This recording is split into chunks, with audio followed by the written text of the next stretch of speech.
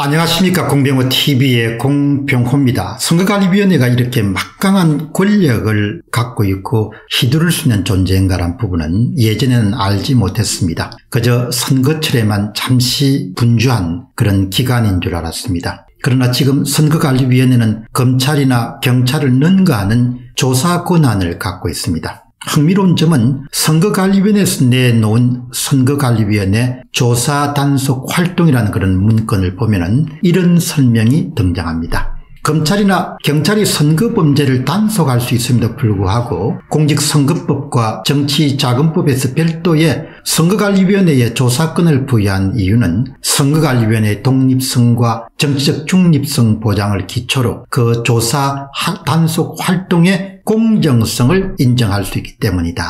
이런 문장을 이제 읽으면서 지나가는 개도 웃을 이야기다 이런 생각을 하게 됩니다. 이제 대한민국의 선거관리위원회는 조직적으로 선거를 조작하는 선거조작위원회다 이렇게 별칭이 불러질 정도입니다. 그 조작선거관리위원회가 조사권을 가지고 얼마나 많은 자위적인 그런 권력 남용을 행할 수 있겠습니까? 이런 조사권 때문에 정치인들은 선거관리위원회의 눈치를 볼 수밖에 없습니다. 이런 엄청난 권력을 바로 선거관리위원회가 쥐고 있다 이렇게 볼 수 있겠습니다. 그런데 이건 못지않게 또 하나의 이보다 훨씬 더 막강한 권력이 바로 선관위가 쥐고 있습니다. 선관위 휘하에 여러 마치 협력업체처럼 다양한 그런 여론조사 사설기관들을 거느리고 있습니다. 한마디로 여론조사 기관에 막강한 영향력을 행사할 수 있는 위치에 선관위가 있고 또한 여기에 그치지 않고 자신이 원하는 방식의 여론조사 결과를 만들어낼 수 있는 또한 능력과 힘을 갖고 있습니다. 이것은 실로 엄청난 권력입니다. 현재 우리가 지금 관심을 갖고 있는 선거 부정 문제, 부정선거 문제도 이 선거 조작도 처음에 시작점은 바로 여론조작에서 시작돼서 분위기를 형성하기 때문입니다. 예를 들어서 지난 6월 11일 국민의힘 전당대회 결과를 한번 보시기 바랍니다. 뉴시스는 이렇게 보도합니다. 이준석 대표는 당원 투표에서 3% 정도 차이로 나경원 후보에 밀려났지만 여론조사에서 30% 이상의 압도적인 격차로 당권을 거머졌다. 엄청난 거죠. 그러니까 여론조사를 조작을 해가지고 당대표도 선출할 수 있고 당의 최고위원도 선출할 수 있고 심지어는 대통령 선거에 특정 정당의 후보도 만들어낼 수 있는 겁니다. 여론조사가 만들어낼 수 있다는 겁니다.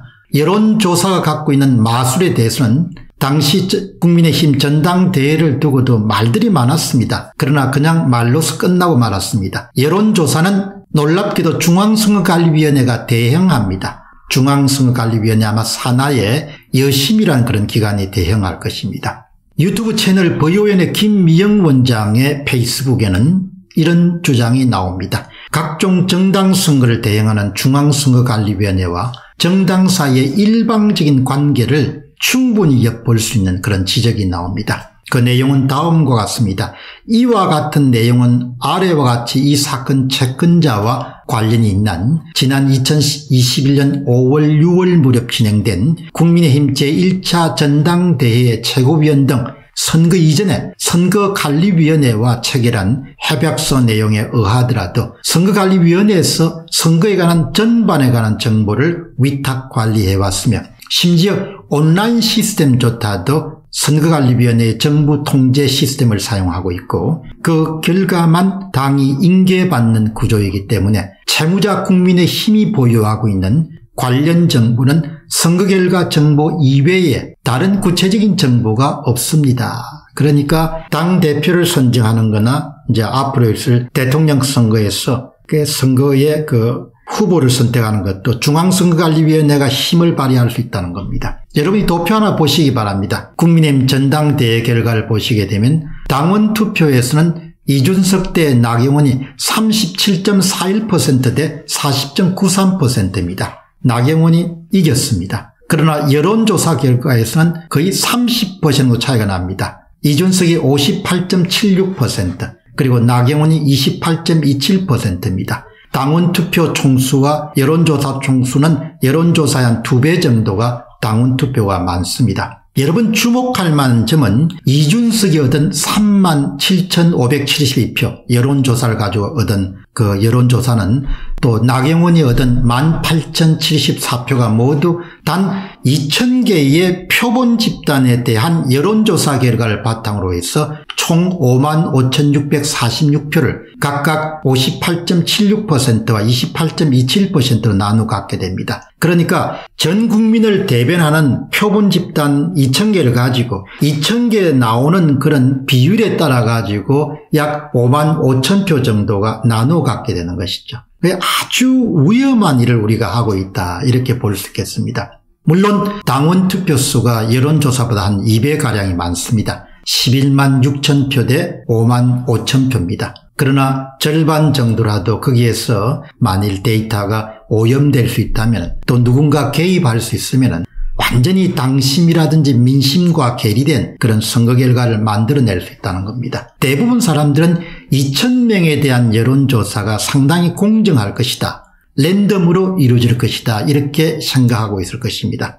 조사 대상에 대해서는 어떤 외부의 개입이나 조작이 없이 투명하게 이루어질 것이다. 이렇게 대부분 사람들이 받아들입니다. 그러나 유튜브 채널 VON의 김영 원장은 전혀 반대 주장을 펼치게 됩니다. 여러분 한번 들어보시기 바랍니다. 다소 상당히 놀라울 수 있는 그런 내용입니다. 2천명의 여론조사를 위해 여론조사 기관은 국내 통신사로부터 30배에 달하는 6만 명으로 구성된 데이터베이스 모집단을 공급받게 되고 여론조사에서는 이 가운데 2천명을 선택해서 여론조사를 실시하고 그 결과를 활용한다.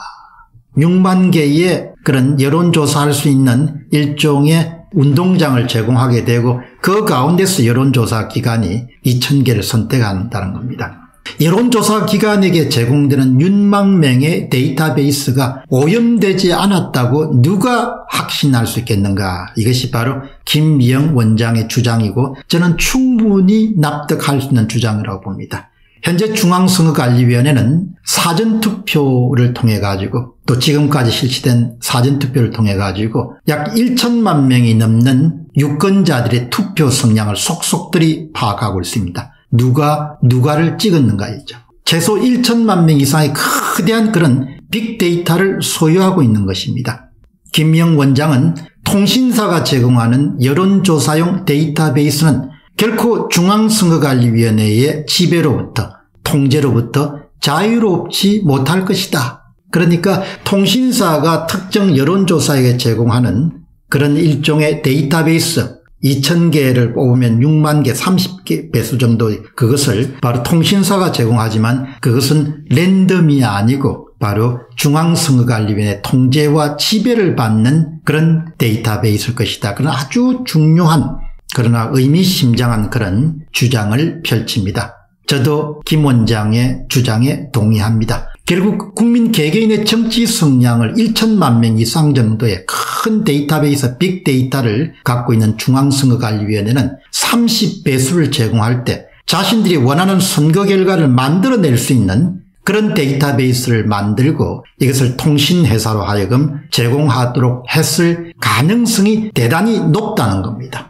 그러나 우리가 물론 확정해 본 것이 아니기 때문에 확실히 그렇다 이런 이야기를 할 수는 없고 그럴 가능성이 대단히 높다는 겁니다. 결국 정당의 당 대표 선출이나 대선 경선 후보의 선택에서 중앙선거관리위원회가 원하는 후보를 뽑는 그런 엄청난 일이 이 나라에서 일어나고 있을 가능성이 높다는 것입니다. 예전 중앙선거관리위원회는 조사권과 아울러서 여론조사에 대한 지배권, 통제권을 통해서 엄청난 권력을 향유하고 있습니다. 결과적으로 선거는 국민이 결정하는 것인가 이런 근본적인 의문을 던져볼 수 있겠습니다. 글쎄 중앙선거관리위원회가 결정하는 것이 아닌가라고 그렇게 묻는 사람들이 점점 늘어나고 있는 것이 사실입니다. 이런 면에서 보면 이준석이 국민의힘 전당대회에서 압도적인 표차로 여론조사의 승리를 거둔 결과는 얼마든지 만들어낼 수 있다는 것입니다. 바로 제공되는 데이터베이스의 특성을 조작함으로써 대통령 후보 국민의힘 경선에서도 똑같은 일이 일어날 가능성이 높다고 볼 수 있겠습니다. 현재의 여론조사 방식을 사용하게 된다면 대통령 후보 국민의힘에서도 분명히 가능성이 있습니다. 지금 이 땅에서는 권력을 국민이 결정하는 것이 아니라 중앙선거관리위원회가 결정한다는 이야기가 상당한 설득력을 얻고 있습니다.